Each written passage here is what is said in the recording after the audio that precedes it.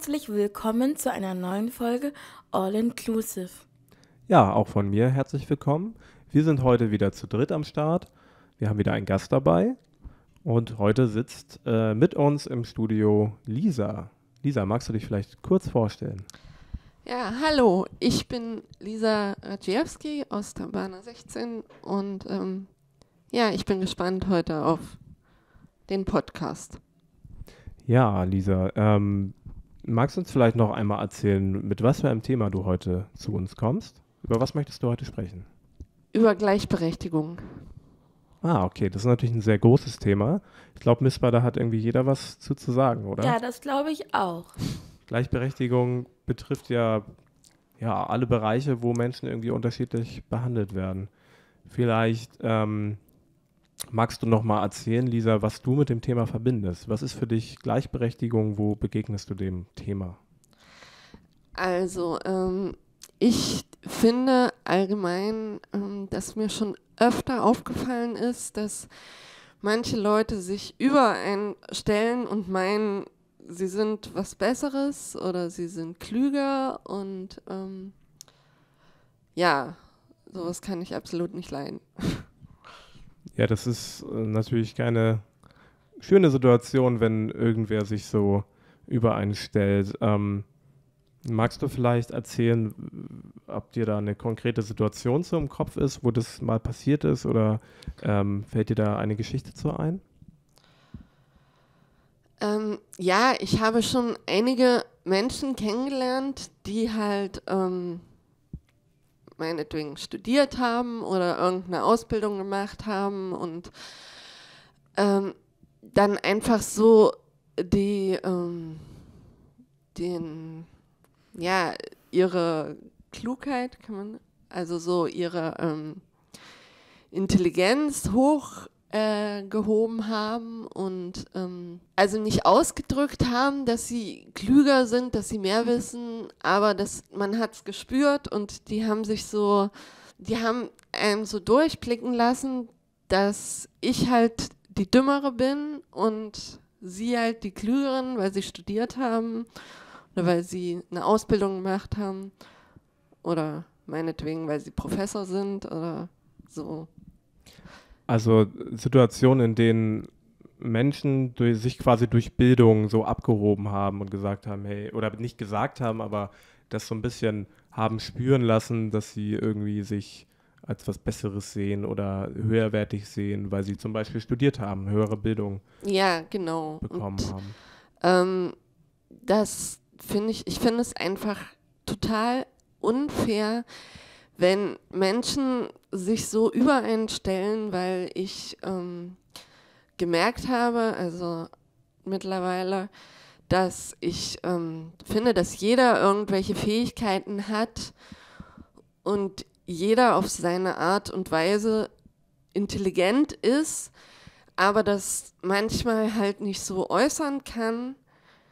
Ähm, ja, und das ist, also dass jeder irgendwie in irgendeiner Sache ähm, Schwächen hat und Stärken und ähm ja, ich denke, das ist eigentlich ja jedem Menschen bekannt, aber ähm, ja, es gibt natürlich Momente, wo Leute das nicht sehen und sagen, oh, ja, okay, ich habe jetzt hier irgendwas, wo ich besser drin bin und dann irgendwie nicht anerkennen, dass es vielleicht noch andere Themen gibt, wo das Gegenüber vielleicht dann ähm, ja in dem Moment dann besser ist oder so.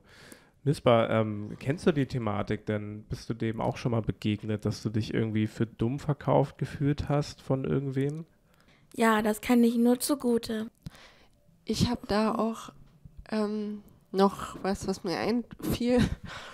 Und zwar ähm, hat also ein Freund von meinem Vater, der ist Musikprofessor und ähm, der hat, mit dem habe ich mich darüber unterhalten und der hat zu mir gesagt, selbst der höchste Professor hat irgendwie eine Meise und hat Schwächen.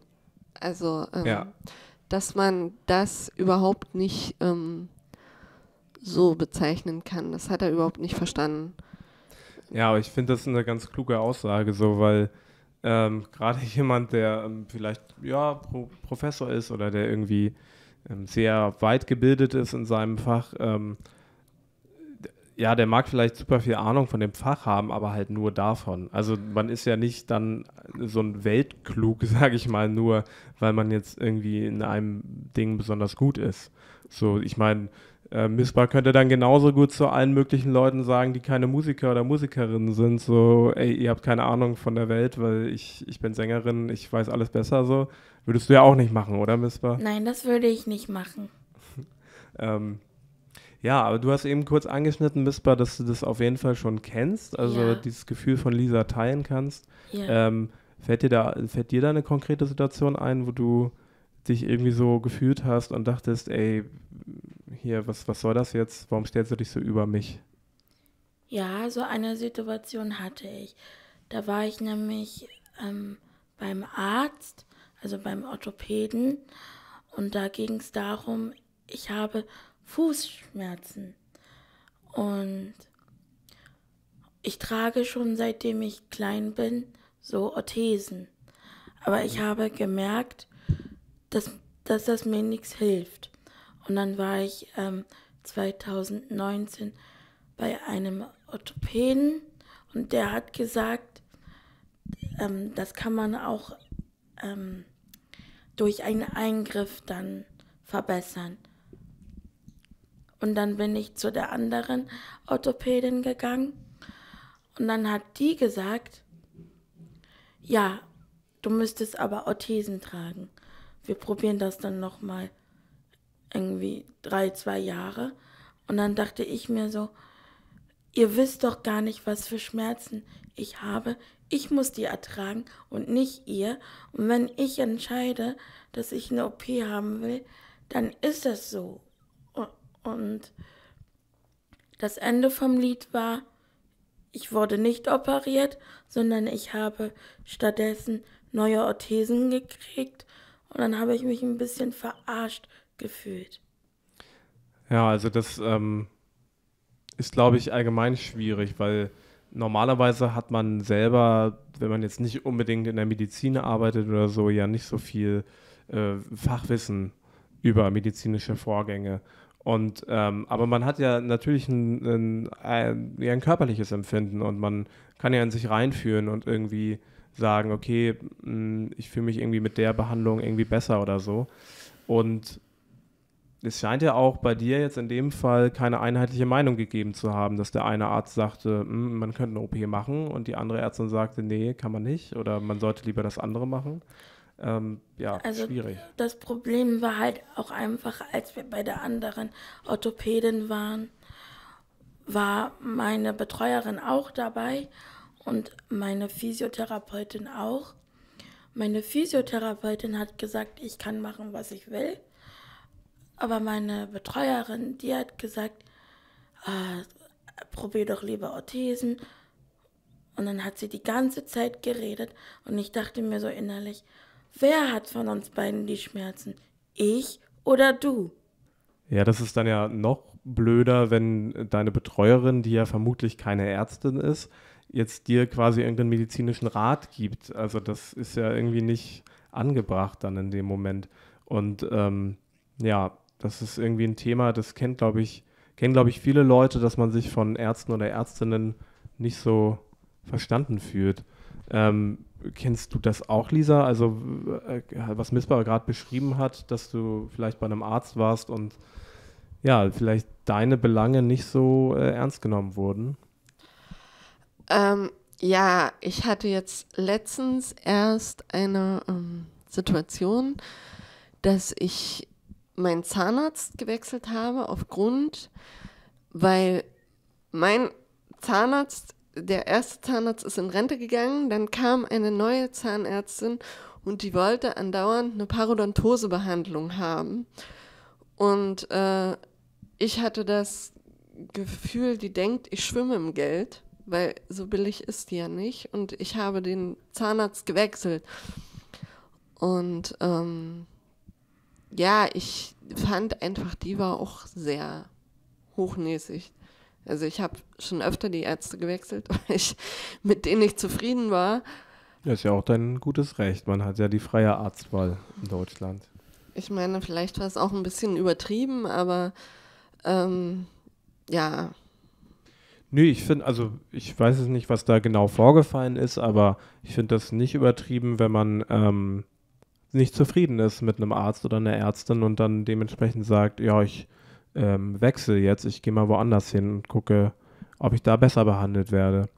Und oft sind es ja auch nicht die Sachen, die ähm, direkt gesagt werden, sondern vielleicht auch, wie man sich dir gegenüber verhält. Du meintest ja eben, dass das, ähm, dass die sich, dass die so hochnäsig wirkte. Mhm. Und das ist ja, glaube ich, genau dieses Ding von oben herab. Also das muss nicht unbedingt ausgesprochen werden, kenne ich zumindest so. Es ist dann manchmal einfach so ein Gefühl, ey, der ist, der ist irgendwie ganz weit weg von mir, so ähm, mental, sag ich mal. Oder hebt sich so krass ab. Genau. Ja, also, ähm, und ich war, also durch meine Epilepsie war ich im Epilepsiezentrum in Behandlung und da bin ich weggegangen, weil ich halt voll unzufrieden war mit den Ärzten, weil die halt ähm, alle halbe Jahre gewechselt haben und ich jedes Mal, wenn ich ins Krankenhaus gekommen bin, einen neuen Arzt hatte. Und ähm, das war irgendwie für mich ziemlich anstrengend. Ich musste immer meine Geschichte erzählen. Und dann habe ich mir einen niedergelassenen Arzt gesucht und mit dem bin ich sehr zufrieden und ähm, da fühle ich mich gut aufgehoben und ich fand es einfach irgendwie ähm, im Epilepsiezentrum hatte ich so das Gefühl, ich weiß nicht, also ich fand es sehr schwierig.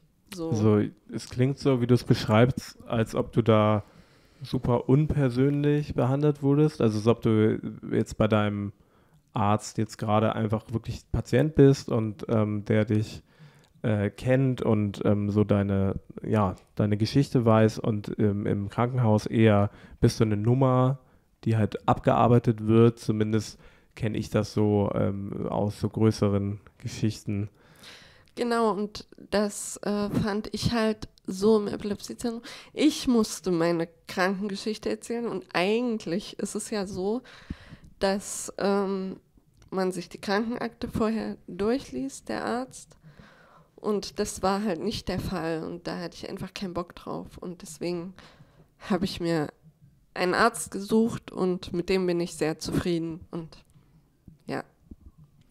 Ja, ähm, ich denke, in der Medizin ist das allgemein schwierig, wenn man halt selber ähm, nicht unbedingt viel äh, Ahnung vom Fach hat und dann aber ähm, jetzt jemanden vertrauen muss, der ähm, irgendwie studiert hat oder so.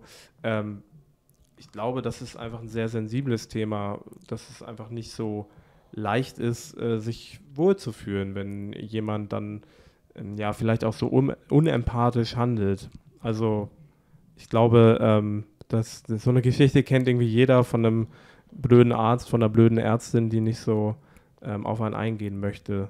Und da gebe ich dir recht, ja, da kann man schnell das Gefühl kriegen, dass man irgendwie einfach so von oben herab behandelt wird und nicht so richtig ernst genommen wird. Ja, also ich weiß nicht, ob man richtig, also nicht ernst genommen wurde, aber es wurde so abgearbeitet. So, da ich hatte so das Gefühl, das ist so gut, wenn der Patient wieder draußen ist. so. Ja, ja, genau. Und das finde ich, also das klingt ja nach nicht ernst genommen werden. Also weil man dann ähm, nur einen Fall sieht oder nur eine Diagnose sieht und dann eben nicht den Mensch dahinter. Ähm, und ja, ich glaube, das ist, das passiert dann. Dann wird halt der Mensch nicht ernst genommen, sondern nur der Fall oder so. Ja, ähm, auf jeden Fall eine, ein, sehr, ein sehr großes Thema mit einer sehr großen Spannweite. Ähm, du hast mir auch ähm, oder hast uns auch vorher erzählt, dass du ähm, auch hier in der Bahn äh, arbeitest. Das heißt, ähm, du arbeitest auch in einer Werkstatt. Kennst du da auch andere Erfahrungen? Weil Mispa zum Beispiel hat mir von anderen Werkstätten erzählt, wo es auch sowas schwierig ist und wo man auch ähm, ja nicht so als Individuum wahrgenommen wird. Ähm, hast du auch solche Erfahrungen gemacht aus anderen Werkstätten? Ähm, ich bin eigentlich gleich ähm, in die Bahner 16 gekommen, als ich hier nach Hamburg gekommen bin. Also ich komme nicht aus Hamburg, aus dem Osten, aus Halle an der Saale und da ähm, ja, habe ich einfach von Arbeitskollegen oder von Freunden ähm, schon gehört, dass es da auch nicht so gut sein soll in der Werkstatt und dass man da auch oft von oben herab behandelt wird. So. Und dass man nicht ernst genommen wird. Ähm, ja, Mispa, äh, vielleicht hast du Lust, darüber noch ein bisschen was zu erzählen. Du ja auch, ähm, hast mir zumindest mal verraten, ähm, in der Werkstatt, wenn man ähm, Mensch mit Handicap ist, dass man oft eher ein bisschen, ja, von oben herab behandelt wird, dass man eher ein bisschen als oder die Bedürfnisse nicht so wahrgenommen werden, wie sie eigentlich wahrgenommen werden sollten. Ich habe ja schon viele Praktikums auch gemacht, weil es war nicht ganz klar, wo ich arbeiten soll, mhm. wo ich da kurz davor stand, die Schule zu beenden. Und deswegen habe ich dann viele Praktikums gemacht. Und ähm, ein Praktikum, da war ich bei einer Vernichtungsfirma. Das heißt, die haben Akten vernichtet. Und da habe ich mich überhaupt nicht wohl gefühlt, weil ich habe ich hab gesagt, dass ich auf Toilette muss. Und dann hat, hat diese Frau gesagt, nein, jetzt nicht ich kann jetzt nicht und ich esse gerade. Und dann habe ich natürlich gewartet und dann habe ich wieder gefragt. Nein, jetzt nicht, ich bin gerade am Handy. Und ich finde, das gehört da nicht, das gehört da nicht hin, wenn man dafür angestellt ist. Ja, das ist ja auch noch schlimmer eigentlich als ähm, als jemand, der von oben herab blickt, das ist ja fast schon ähm, menschenunwürdig, jemanden nicht auf Toilette zu lassen. Und vor allem, ich finde es auch schwierig, dass sie das sagt, weil das ist ja ihr Job. Ja. Also, ne? Und das Problem war damals einfach, also, also man muss wissen, dass ich ein bisschen Probleme habe, damit auf Klo zu gehen. Das liegt aber auch mit an meiner Spastik. Und ich konnte an diesem Tag nicht lange anhalten, wo ich so auf Toilette musste. Und dann habe ich halt leider eingenässt. Und das fand ich nicht lustig, weil der Gruppenleiter hat dann auch gesagt, ja, ich kann jetzt nicht mit dir, du musst jetzt auch warten. Und das fand ich ekelhaft. Und dann habe ich auch geweint, als ich dann zu Hause war. Furchtbar. Also das ist, finde ich, ganz schlimm, weil ich muss es nur nochmal betonen, es ist einfach menschenunwürdig so, dass, dass man dich halt so dir selbst überlässt in so einem Moment. Ja. Ja, Lisa, ähm, wir waren ja eben vorhin bei dem Thema, dass man bei Ärzten oder Ärztinnen manchmal nicht so gut behandelt wird, dass so von oben herab geblickt wird. Ähm, du hast mir auf jeden Fall schon mal erzählt, dass du das oder etwas ähnliches schon mal bei Ämtern und generell bei Ärzten und Ärztinnen beobachtet hast. So ein gewisses Phänomen, dass wenn man da als Mensch mit Behinderung hingeht. Magst du darüber mal eben was erzählen? Ja, also was ich sehr ähm, schwierig finde, ist, wenn es um den Patient geht, der Arzt eigentlich mit dem Patient reden will, aber wenn ein Assistent oder ein Betreuer da ist, dass man, dass die Ärzte oft den Betreuer angucken oder ähm, den Assistenten oder die Assistentin. Ähm, und deswegen gehe ich auch alleine zu Ärzten äh, und nehme meine Assistentin gar nicht mit, weil ähm, dann können die das nicht machen. Außerdem, ähm, mein Neurologe würde das, äh, glaube ich, auch überhaupt nicht gut finden. Also, äh, wenn ich jemanden mitbringe. Also das Phänomen, was du beschreibst, ist, dass ähm, über einen gesprochen wird und nicht mit einem. Ähm, das ist ja auch eine Form davon, nicht so richtig ernst genommen zu werden oder nicht so richtig für voll genommen zu werden. Kennst du das auch, Missbar? Ich glaube, wir haben über das Thema auch schon mal gesprochen, ne? Das kenne ich auch. Da fällt mir auch eine Geschichte zu ein. Ich war 2017 im Krankenhaus, weil ich operiert worden bin. Und da war auch zwei Wochen später ist mein Freund auch da operiert worden. Und wenn man ja kurz davor ist, die OP zu haben, hat man ja ein Vorgespräch wegen Narkose und sowas. Und ähm, dann ist die Ärztin halt zu meinem Freund ins Zimmer reingekommen und ich war halt auch in seinem Zimmer. Und dann hat die Ärztin mit der Mutter von meinem Freund geredet, aber sie hat meinem Freund gar nicht dabei angeguckt und meinem Freund, hm, wie soll ich sagen, wenn man ihn nicht kennt, dann versteht man ihn vielleicht jetzt nicht so wie ich, aber ähm, er kann sprechen und er versteht auch alles, aber diese Ärztin hat ihn nicht angeguckt oder angesprochen, sie hat über ihn geredet und mein Freund hat alles verstanden und am Ende hat er dann sogar geweint, weil er ja gestresst war wegen der OP. Und ich finde das einfach nicht richtig. Also das ist doof. Ja, total. Also es ist auch, glaube ich, ein, ein, Phänomen, was man, glaube ich, überall äh, finden kann.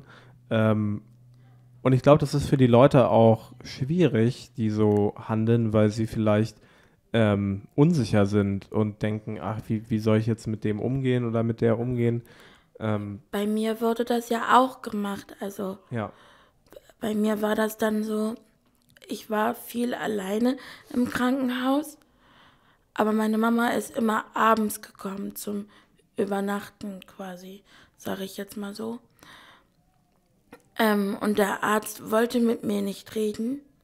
Also er wollte mir nicht erklären, was da gemacht wird. Er hat gesagt, ich muss warten, bis meine Mama wiederkommt. Wo ich mir so dachte, ich verstehe sie doch. Sie müssen mir das vielleicht nur öfters und langsamer erklären, aber ich verstehe es doch. Das finde ich auch total frech, weil ähm, äh, also er ja gar nicht, er hat es ja gar nicht versucht. Er hätte ja einfach mal sich fünf Minuten hinsetzen können und dir das mal kurz erklären können. Ja. Und wenn du es dann nicht so verstanden hättest, hätte man immer noch sagen können, ja, okay, vielleicht ähm, warten wir, bis deine Mutter da ist, aber einfach so von vornherein zu sagen, ne, du wirst das nicht verstehen und deshalb erklär es dir nicht, obwohl es um dich geht und deinen Körper, das finde ich schon ziemlich ja, krass. Aber das ist leider so. Ja, also ich habe ja auch schon mal erzählt, dass ich ähm, lange im Rettungsdienst gearbeitet habe und ähm, das es gibt so eine Sache, die man lernt in der Ausbildung. Man hat ja auch manchmal mit Menschen zu tun, die nicht bei Bewusstsein sind. Ähm, und man würde jetzt nicht darauf kommen, mit jemandem zu sprechen, der nicht mehr bei Bewusstsein ist. Würde man im ersten Moment nicht drauf kommen, aber man lernt in dieser Ausbildung, dass man das machen muss, weil man eben nicht weiß, wie viel kommt bei den Menschen an, wie viel versteht er noch und das ist einfach für jeden viel angenehmer, wenn ich jetzt zum Beispiel kurz vorher ansage, was ich jetzt mache. Also jetzt, äh, wenn ich jetzt irgendwie am Patienten tätig werden muss, zum Beispiel einen Zugang lege oder so, das ist auch für einen Bewusstlosen besser, wenn man dem das vorher sagt, was man macht. Ich wollte gerade sagen, also da kann ich wieder eine Geschichte zu erzählen. Ja. Also 2019 ähm, war eine sehr schlimme Zeit für mich weil mein Freund war im künstlichen Koma und da war auch nicht ganz klar, wie er das, ähm, wie er das mitmachen wird, sage ich jetzt mal so. Und ich konnte ja leider nicht zu ihm hin, weil er auf der Intensivstation lag. Aber seine Mama ist da immer hingegangen und sie hat dann zwischendurch auch mal von mir geredet und dann hat er Reaktionen gezeigt. Und wo sie mir das erzählt hat, dachte ich mir so, das hilft. Natürlich hilft das, weil sonst würde er keine Reaktion zeigen. Klar. Und ähm, ja, das kann natürlich dann auch einfach bei der Heilung helfen, so. Ja. Mit Sicherheit. Ja, das ist ja wirklich schwierig, ähm, wenn das nicht anerkannt wird. Ähm, Lisa, du hattest uns noch vorhin erzählt, dass, ähm, dass dir so eine Sache so ein bisschen wie ein Dorn im Auge ist, ähm, wenn ja der Begriff ähm, behindert als ähm, Schimpfwort verwendet wird. Erzähl doch mal was davon. Also ich habe ähm, schon öfter, wenn ich also durch die Straßen gegangen bin oder wenn ich irgendwo einkaufen gegangen bin und dann waren halt ähm, mehrere Jugendliche da und ein Jugendlicher war halt langsamer als die anderen und dann kommt gleich so ein Spruch, ey, bist du behindert oder was? So, und das ja. finde ich einfach ganz furchtbar. Da könnte ich auch am liebsten hingehen und rechts und links. Ja. ähm, einfach so, weil ich das so schlimm finde, dass man das als Schimpfwort benutzt. Das, das kann ich irgendwie nicht akzeptieren und nicht nachvollziehen. Ja, ich finde das auch total schlimm, wenn man das so verwendet. Ähm, also in, in meiner Jugend ähm, erinnere ich mich noch, dass, dass es tatsächlich leider ähm, ein, gängiges, ein gängiger Begriff war, den man irgendwie als Schimpfwort verwendet hat. Ähm, und ich habe das mal irgendwann reflektiert und habe mich gefragt, warum eigentlich, warum wird das so verwendet? Und ich habe es mir nur so erklären können, dass ähm, vielleicht viele Menschen gar keinen Bezug in ihrem Alltag zu Menschen mit Einschränkungen haben und vielleicht dadurch, ja, das so ein bisschen weiter weg ist, so ein bisschen fern ist und vielleicht auch dadurch ein, ja, so ein Stereotyp entsteht. Und ähm, das ist auf jeden Fall ein Problem, weil das ist, äh, würde ich sagen, ein, ein Zeichen für fehlende Inklusion. Ja. Ich weiß nicht, wie ihr beide das seht, ob, ob ihr das bestätigen könnt. Ich sehe das genauso.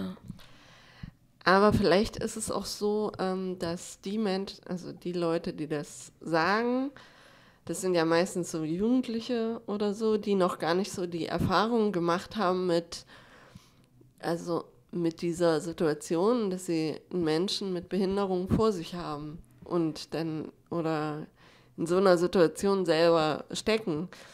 Also weil ich finde, ähm, jeder kann von jetzt auf gleich irgendwie irgendwo eine Behinderung bekommen. Sei es geht über die Straße, dich fährt ein Auto an oder du gehst äh, auf dem Fußweg und dir fällt ein Ziegelstein auf den Kopf oder irgendwie sowas. Da bist du dann auch behindert, wenn man das so sagen will, oder eingeschränkt. Da fällt mir leider auch wieder eine Geschichte zu ein. Ich, ich freue mich mal, wenn du Geschichten erzählst, auch wenn sie manchmal nicht so schön sind, ähm, weil sie ein ähm, Problem beinhalten, aber erzähl gern davon, Mispa. Wir hatten Urlaub und da habe ich, und da habe ich auf kleine Kinder aufgepasst und dann meinte die, die Kleine halt, sie möchte mit mir einen Film gucken. Und dann bin ich mit ihr rausgegangen und habe ein bisschen ähm, was zu knabbern gekauft und als wir dann auf dem Weg nach Hause waren, waren so drei Jugendliche hinter uns und die haben den, äh, die haben die Mülltonne angezündet, also mit Feuer.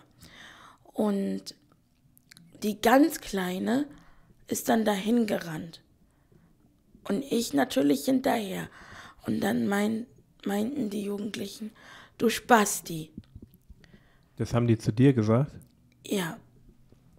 Und dann hat die, Kle also die etwas größere von den beiden, hat dann gesagt, halt die Fresse. Aber bei mir ist das so, wenn ich so in Stresssituationen bin, ähm, dann macht meine Hand ja nicht das, was ich möchte, sondern sie verkrampft sich. Und ich wusste einfach nicht, wie ich da rauskommen soll, weil meine Hand halt nicht das getan hat, was ich wollte. Ich wollte nämlich von meinem E-Rolli den Joystick in die Hand nehmen, damit ich halt losfahren kann.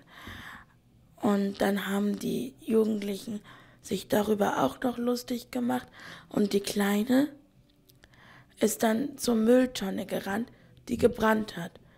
Und ich habe dann natürlich geschrien, nein, stopp, nicht dahin rennen, weil das ist ja gefährlich. Ja. Und die Jugendlichen haben nur gelacht und ich fand das überhaupt gar nicht witzig. Was ich krass an der Geschichte finde, ist halt, dass, ähm, ähm, also was Lisa eben erzählt hat, war ja äh, die, dieses Phänomen, dass eben ähm, der Begriff behindert so beleidigend verwendet wird.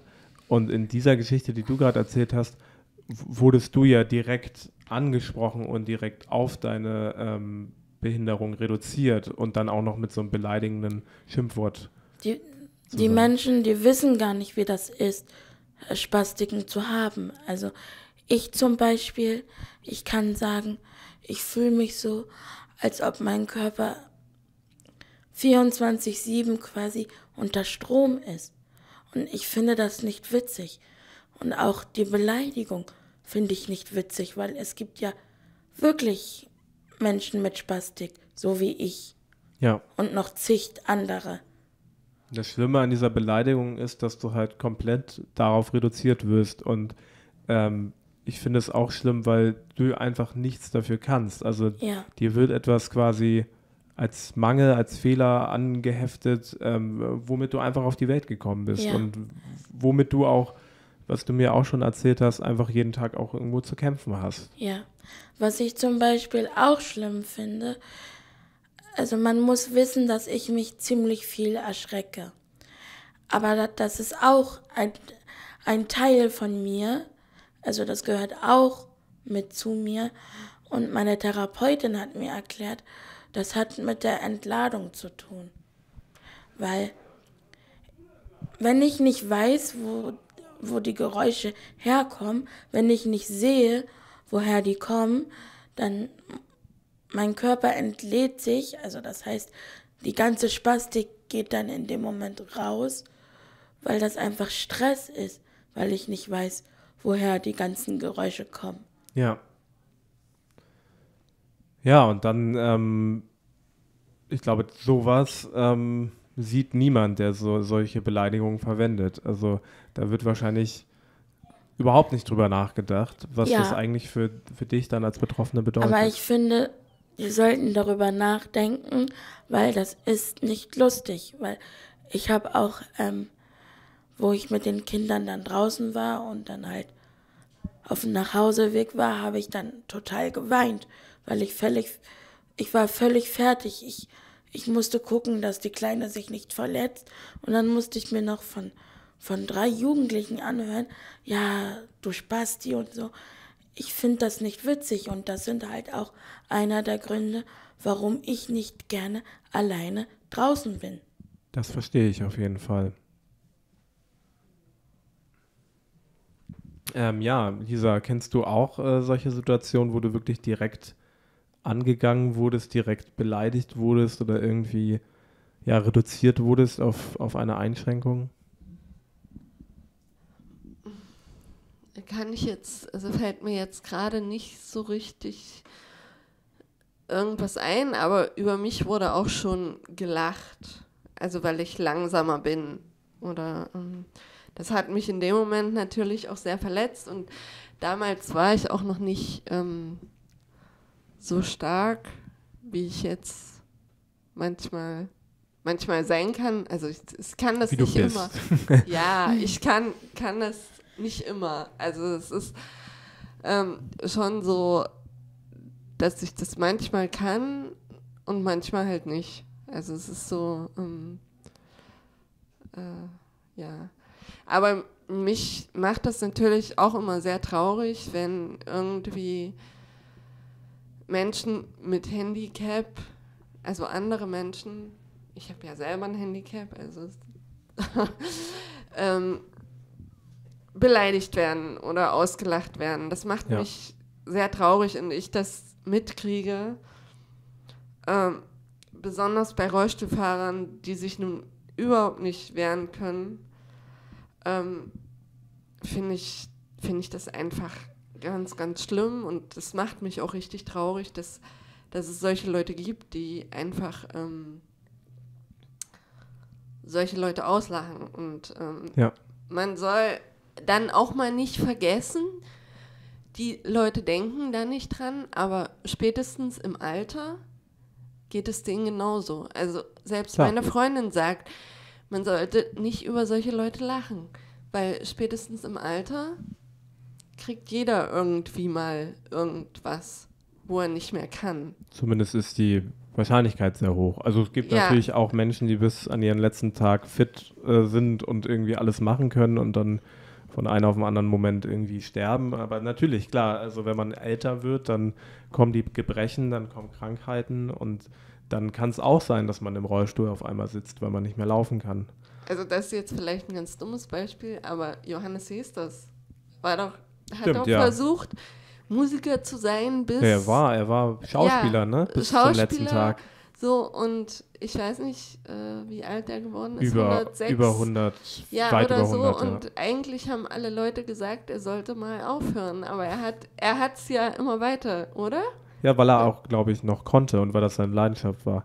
Vielleicht kurz für alle ähm, Hörerinnen und Hörer, die jetzt nicht wissen, über wen wir sprechen. Johannes Hesters, der ist schon ein paar Jahre tot. Das war Deutschlands ältester Schauspieler. Das war ein Theaterschauspieler, der mit über 100 Jahren noch auf der Bühne stand. Der Genau. konnte es nicht lassen, könnte man Genau, sagen. ja. aber ich, also ich habe irgendwie gehört, dass auch einige Leute zu, also so gedacht haben oder es auch gesagt haben, er sollte doch mal ruhiger machen. Er ist jetzt auch schon ein bisschen betagt, Ja. oder? Ich weiß es nicht.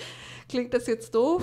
Nee, aber er hat ja, glaube ich, ähm, einfach, also er hatte das, was ich eben beschrieben habe, er war, glaube ich, so jemand, der einfach bis zum letzten Tag äh, auch körperlich noch sehr fit war, der jetzt noch keine großen Einschränkungen mit dem Alter erlebt hat. Zumindest ist mir das nicht bekannt. Wenn man also so mit so einem hohen Alter noch, noch so auf der Bühne steht, dann ist das schon. Es Krass. fiel mir jetzt einfach ein, Ja. weil, ich weiß auch nicht. Ähm, ich würde noch mal ganz kurz zurück auf das, was wir eben besprochen haben. Ich hatte dann nämlich noch eine Idee.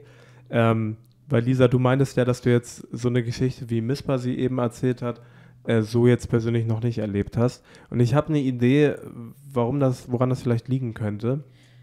Ähm, du meintest ja eben, Lisa, dass Menschen, die im Rollstuhl sitzen, ähm, oft irgendwie sowas abbekommen, sage ich mal, so in der Richtung. Und ich glaube, wenn man in einem Rollstuhl sitzt, ist das sehr offensichtlich einfach, ne? Ich wollte gerade sagen, also die Leute denken, glaube ich, wenn man im Rollstuhl sitzt, das sieht man ja. Genau, das ist irgendwie sehr offen dann. Aber wenn man laufen kann, sieht man das vielleicht nicht so schnell. Das habe ich bei meiner Cousine zum Beispiel. Meine Cousine aus Berlin, die ist geistig behindert.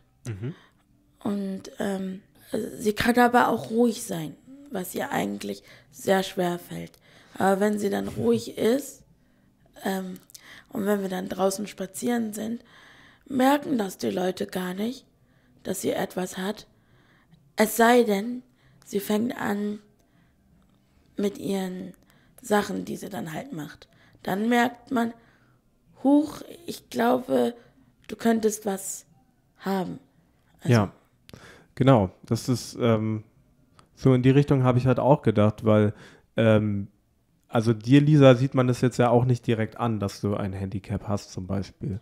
Und wenn, ähm, wenn man Mispa als er, das erste Mal sieht, dann sieht man halt einen Rollstuhl. Und ich glaube, vielleicht ist es dadurch, genau wie du es gerade erklärt hast, Mispa. Der Rollstuhl ist geschuldet. ja leider, ist ja leider nicht zu verbergen. Genau, den, Der gehört ja mit zu mir. den hast du halt immer dabei. So, Das ja. sind quasi Aber- meine Füße. ja, genau.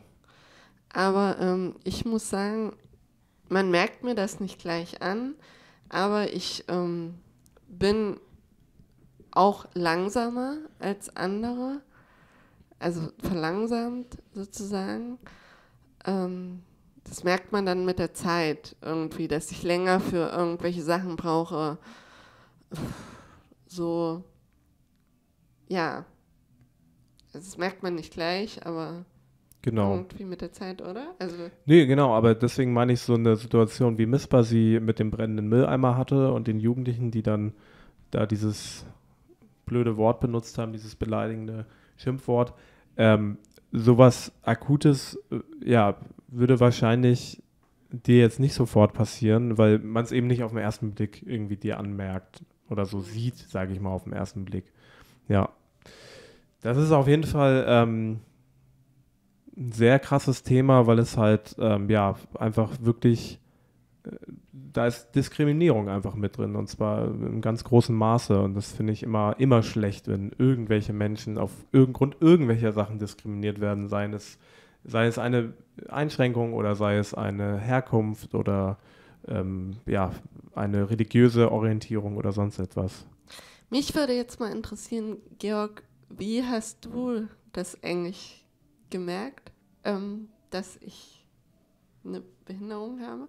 Mm, ich glaube, du hast es mir erzählt. Ich glaube, du hast mir, ähm, genau, du hast mir erzählt, wie das bei dir entstanden ist, dass du eben einen Unfall hattest, wenn ich das so sagen darf. Mhm. Und ähm, ja, genau. Also das äh, kann ich ja mal einfach so ganz frei berichten, wie das war, als ich hier in die Bahner kam ich wusste wirklich sehr lange am Anfang nicht, wer ist beschäftigt, wer ist Mitarbeiter. Also weil es einfach eben so schön ähm, ist hier, dass es eben nicht so äh, klar ist. Natürlich ist eben wie an dem Beispiel, ähm, wenn man jetzt jemanden im Rollstuhl sitzen sieht, dann ist es irgendwie offensichtlich, klar. Aber ganz oft ist es eben nicht offensichtlich und dann, ja, sieht man darüber aber auch dann sehr schnell hinweg, weil man merkt, es geht hier gar nicht darum, irgendwie hier in meinem Kopf einzuteilen, wer ist hier behindert und wer nicht, sondern ähm, wir sind einfach alle Menschen, die hier gerade zusammenarbeiten und das ist irgendwie das Einzige, was dann im Moment zählt. Das habe ich, hab ich hier gelernt. Das ist irgendwie für mich auch was Neues gewesen, weil ich eben auch, bevor ich hier mein Praktikum begonnen habe, ja, keine wirklich Berührungspunkte mit Menschen mit Handicap hatte. Und ähm, Deswegen fällt mir das auch leicht dann vielleicht zu verstehen, wie manche Menschen reagieren oder, oder agieren, weil ich auf jeden Fall dieses Gefühl kenne mit, ah, das, das kenne ich nicht. Das ist etwas, was ich noch nicht erlebt habe in meinem Leben. So. Und ähm, ja, wie soll man sich mit etwas auskennen, was man noch nicht erlebt oder gesehen hat? Ist schwierig. Deswegen, ich versuche immer bei allen möglichen Konflikten, versuche ich immer irgendwie beide Seiten zu sehen und sie zumindest zu verstehen. Und ja, es geht nie, klar, es ist nie in Ordnung, irgendwie abfällig, beleidigend oder sonst was zu sein, aber zumindest das Verhalten von zum Beispiel einer Ärztin, die über einen Kopf hinweg spricht und äh, mit einem Betreuer redet, weil sie es vielleicht gar nicht besser weiß, weil sie denkt, ach, muss ich jetzt mit dem sprechen, weil versteht der Patient mich überhaupt so? Also solche Sachen, glaube ich, gehen dann in den Menschen vor und deswegen fällt mir das, glaube ich, leicht, das zumindest nachzuvollziehen. Dass das nicht richtig ist, ähm, das ist klar, aber man kann es vielleicht verstehen, warum die Menschen so reagieren. Ja, ähm, wir hatten ja noch, noch so eine andere Sache, die, die ganz interessant war, finde ich ähm, wir haben jetzt ja viel gesprochen darüber, wie man äh, auch wahrgenommen wird von anderen Menschen. Und ich glaube, dass was da auch wichtig ist bei dem Thema ist, wie viel Mitbestimmung hat man. Und ähm, wir haben ja schon oft in diesem Podcast über Inklusion gesprochen und dass es da auf jeden Fall noch viel Verbesserungsvorschläge gibt, richtig, Missbar? Ja, richtig. Aber ähm, zu dem Thema kann ich noch sagen, ich bin ich bin sehr froh, hier in der Bahner gelandet zu sein, weil hier darf man halt mitbestimmen und hier wird nicht über, über den Kopf hinweg entschieden. Ja, wir sind natürlich, ähm, wir machen jetzt natürlich hier keine äh, verblümte Werbung oder so für, für die Bahner 16. Nee. Ähm, ich glaube, was man hier hört, sind einfach ehrliche Meinungen darüber, wie es gut laufen kann. Ne? Genau, weil wenn man so wie ich aus einer anderen Werkstatt kommt, ist das hier echt gleich ein ganz anderes Bild. Ja. Also, das muss ich wirklich sagen.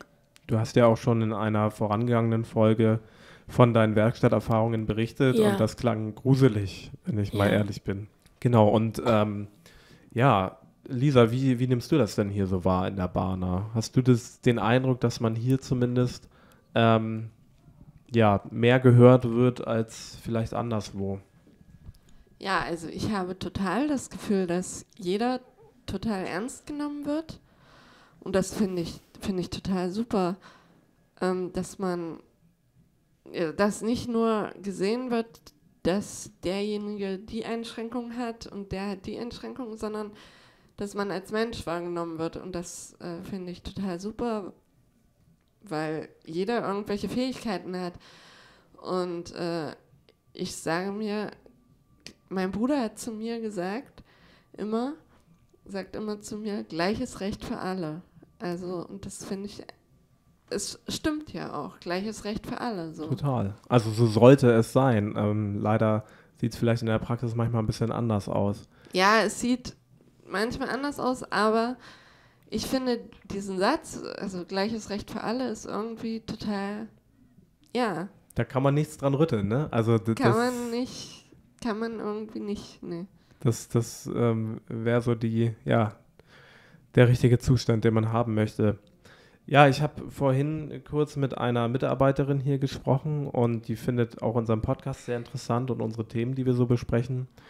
Und ähm, die meinte auch, also natürlich läuft hier in der Bana nicht, nicht alles Friede, Freude, Eierkuchen. Also hier gibt es auch Dinge, die vielleicht nicht so gut funktionieren oder die, ähm, die noch verbesserungswürdig sind. Und eine dieser Dinge ähm, war zum Beispiel, ähm, dass man jetzt hier vor kurzem eine Dienstbesprechung eingeführt hat für Beschäftigte. Also weil, weil die Mitarbeitenden irgendwann gesagt hat, sag mal, wieso haben wir eigentlich eine Dienstbesprechung als Mitarbeitende und besprechen hier Themen und die Beschäftigten haben das gar nicht so. Und ich fand es irgendwie cool zu sehen, dass man da in so einen Reflexionsprozess geht und sagt, ja, okay, wir sehen hier noch Dinge, die noch nicht hundertprozentig richtig sind, deswegen korrigieren wir sie und führen sowas einfach mal ein. Wie findet ihr das denn, dass ähm, ihr jetzt die Möglichkeit habt, auch mal so eure Belange zu äußern? Also ich finde das richtig gut, also weil dann weiß man auch, was hier so läuft. Was ich auch gut finde, ist, dass ich zum Beispiel die Nummer von meiner Chefin habe, dass ich sie mal privat auf WhatsApp anschreiben kann, wenn irgendwas los ist. In anderen Werkstätten, wenn ich das, glaube ich, fragen würde, würden die sagen, nee, Arbeit ist Arbeit und Privat ist Privat. Ja, ich finde, das ist eine bemerkenswerte Sache. Also grundsätzlich natürlich total schön, wenn du ähm, auch noch eine Ansprechpartnerin außerhalb der Arbeitszeit hast. Ähm, ich sehe jetzt aber auch die, die, ähm, ja, die, die, Leute, die sagen, okay, ich trenne das, Arbeit und Privat. Das verstehe ich auf jeden Fall gut, weil ich, also ich studiere ja gerade soziale Arbeit und ähm, da ist ein Thema immer ganz wichtig, das nennt sich Nähe und Distanz. Und ähm, es ist wichtig für den Job der sozialen Arbeit, ähm, dass man Nähe zu den Leuten hat, weil man ja immer mit Menschen arbeitet und da Beziehungen zwischen Menschen natürlich wichtig ist. Aber es ist auch wichtig für einen selber, dass man sich zum Beispiel auch von Schicksalen abgrenzen kann, weil, naja, früher im Rettungsdienst musste ich das auch machen. Wenn ich jemanden leiden habe sehen, dann durfte ich eigentlich nicht darüber so viel nachdenken oder das an mich ranlassen, weil sonst hätte ich diesen Job nicht machen können. Ja, das kann ich natürlich auch verstehen. Also ich verstehe deine Seite auch voll und ganz, aber es ist einfach schön, dass, also meine Chefin kam halt auf mich zu und meinte, willst du meine Nummer haben, meine private? Und ich habe ich hab erstmal so geguckt, darf man das überhaupt? Also irgendwie finde ich das gerade komisch.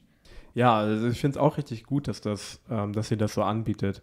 Ähm, um das kurz zu erklären, Mispa hat auch meine Nummer. Es ist auch einfach einfacher, ne? wenn man dann irgendwie nach der Arbeit fällt einem noch was ein, was man irgendwie abklären muss oder besprechen muss. Ja. Und ähm, ja, das finde ich dann auch in Ordnung. Ich meinte nur gerade, ähm, ich verstehe ich, ich verstehe jeden, der sagt, wenn ich in so einem Beruf arbeite, dann muss ich das trennen. Also äh, das ist super gut, wenn das wenn die Leute das hinkriegen und sagen, okay, ich kann auch ähm, da die Grenzen etwas verschwimmen lassen, aber ich verstehe eben auch die Leute, die das vielleicht nicht machen. Naja, also ähm, ich äh, finde es, find es auch wichtig, dass man so seine ähm, Grenzen äh, zeigt oder dass man auch so eine Privatsphäre hat.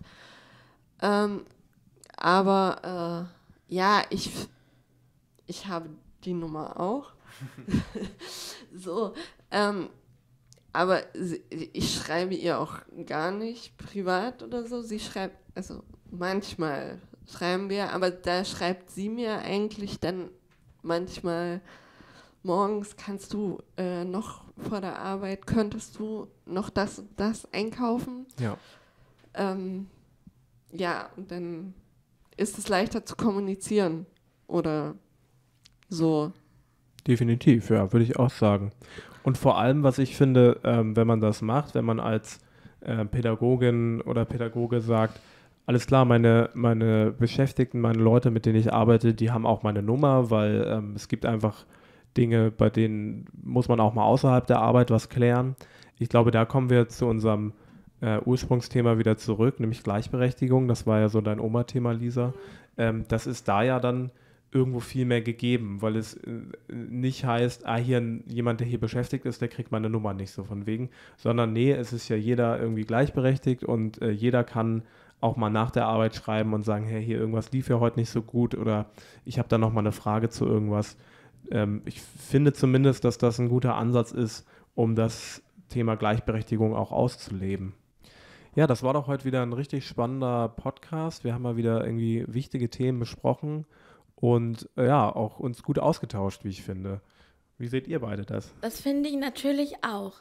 Ich fand das heute auch wieder sehr interessant. Ja, ich ähm, hoffe, dir ging es auch so, Lisa. Ja, auf jeden Fall. Schön. Freut mich, dass ähm, wir hier wieder so eine schöne Runde äh, zusammengefunden haben und ja, dass wir vielleicht auch ähm, spannende Dinge für unsere Zuhörerinnen und Zuhörer heute besprechen konnten. Ähm, ich kann nur sagen, vielen Dank, Lisa, dass du dir heute Zeit genommen hast und bei uns warst. Bitte, habe ich sehr gerne gemacht. Das freut mich. Und ja, auch wieder an dir. Vielen Dank, Mispa, dass wir heute wieder hier eine schöne Folge aufnehmen konnten. Immer gerne doch. Alles klar. Dann würde ich sagen, Lisa, mach's gut und ähm, einen schönen Gruß an unsere Zuhörerinnen und Zuhörer. Bis bald. Bis bald. Tschüss. Tschüss.